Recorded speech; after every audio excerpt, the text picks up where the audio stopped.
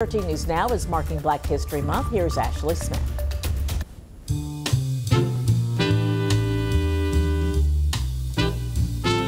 The historic Cuffy Cuffeytown was once a predominantly free black community in Norfolk County, which is now Chesapeake.